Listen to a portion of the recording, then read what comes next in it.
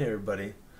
Today I'm going to be walking you through Perpetuator, which is a product that has both a business to consumer and business to business model.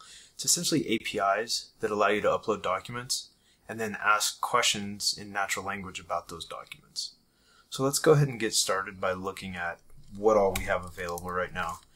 Uh, so this is a command line tool that talks to those APIs. We're also building a front end that'll also talk to those APIs. So right now we're just going to look at any of the documents that have been uploaded.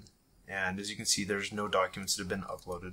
So what we're going to do is we're going to go ahead and ask the AI a question about a document that hasn't yet been uploaded. So let's see if it knows a, a story about this gentleman named Bob McSecret.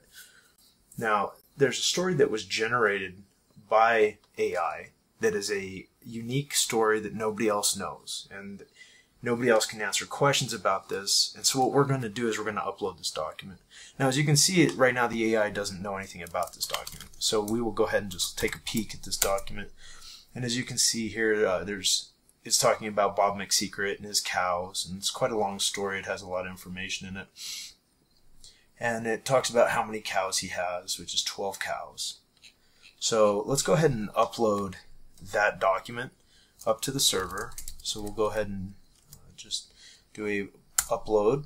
So this is now calling the backend API, does an upload to the server, and we can now check the status of this. So let's see how the upload's going and how the uh, indexing, the embedding of this document is going. So you can see it's still indexing.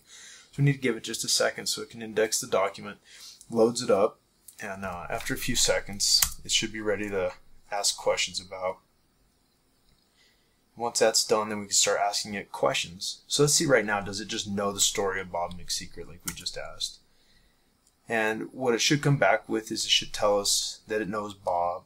It knows that he has 12 cows.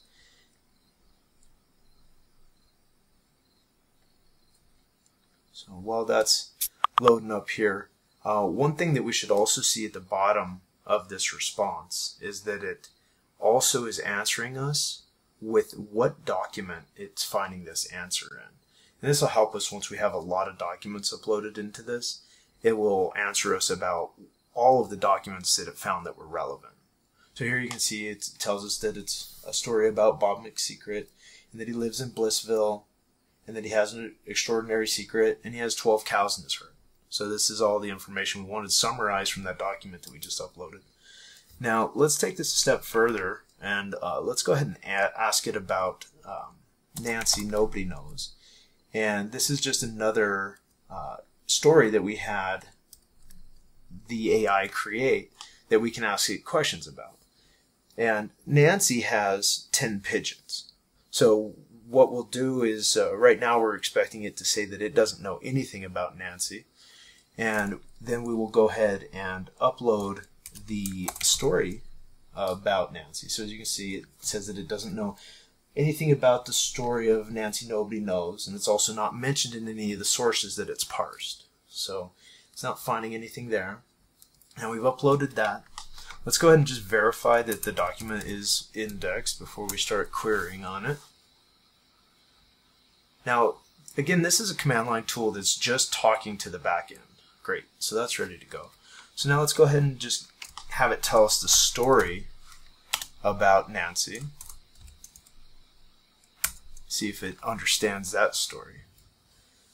But we're also having a front end built right now. So in addition to the command line interface that we're working with here, uh, the front end is being built so that you can upload documents, see them, view them, and then also ask these questions. And you can do that in a thread style question and answer. So it, it can become more and more context aware of a dialogue that you're having about your own documents. So here you can see it says Nancy Nobody Knows is a character from a story set in a small town also called Blissville.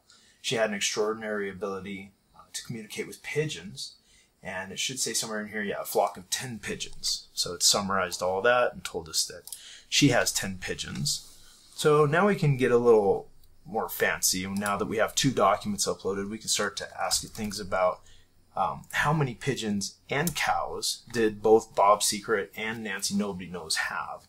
And so it's going to query across all of our documents now. It's not just looking into one document and trying to give us an answer about that. It's looking across all the documents we have ingested into the system.